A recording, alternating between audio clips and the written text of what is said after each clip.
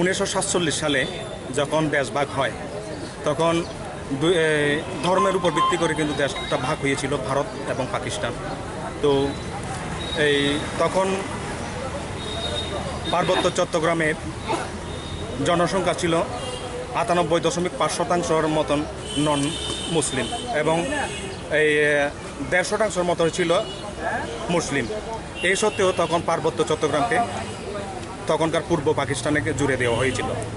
তো এটার উপর আমরা মনে করি, এই দেশভাগের সময় চাকমাদের উপর এই এই অন্যায়ভাবে অন্যায়ভাবে এই চাকমাদের যে মাতৃভূমি, এটা তখনকার পাকিস্তানের সাথে জুড়ে দেওয়া হয়েছিল।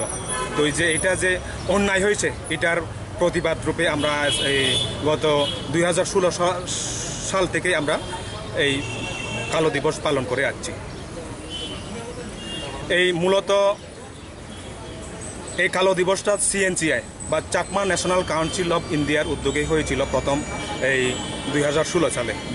এই দুই হাজার ষোলোয় মার্চ মাসের চব্বিশ এবং পঁচিশ তারিখ একটা সম্মেলন হয়েছিল। ইয়াতে গুয়াহাটিতে তখন ওই সম্মেলনে এই সিদ্ধান্ত হয় যে প্রত্যেক বছর আমরা সতেরোই আগস্টটা এই সতেরোই আগস্ট দিনটা আমরা কালো দিবস হিসেবে পালন করব। কেন সতেরোই আগস্ট দিনটা কালো দিবস? এটা আমরা জানি, যখন ভারত স্বাধীন হয়, দীর্ঘ ব্রিটিশ শাসনের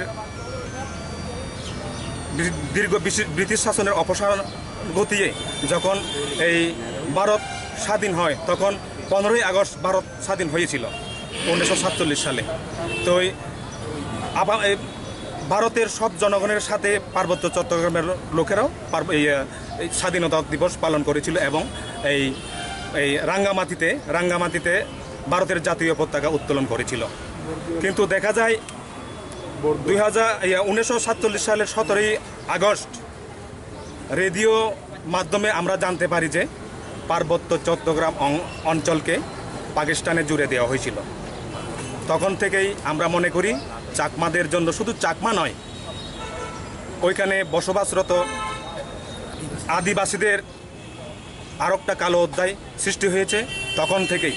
এখন অবধি যার অবসান হয়নি। কালো দিবস পালনের পাশাপাশি আপনাদের দাবি কি? কারণ আপনারা একটা দাবি করছেন আন্তর্জাতিক বিচার মঞ্চে মানে ইন্টারন্যাশনাল কোর্ট অফ জাস্টিসে বিচার চান। হ্যাঁ। যেই আপনারা ঐতিহাসিক অন্যায় কথা বলছেন সেটার মানে রিইন্ট্রোডাকশন ইন্টু ইন্ডিয়ান ইউনিয়ন সেটা কি আপনার দাবি আছে? আপনার মধ্যে সেটা আছে?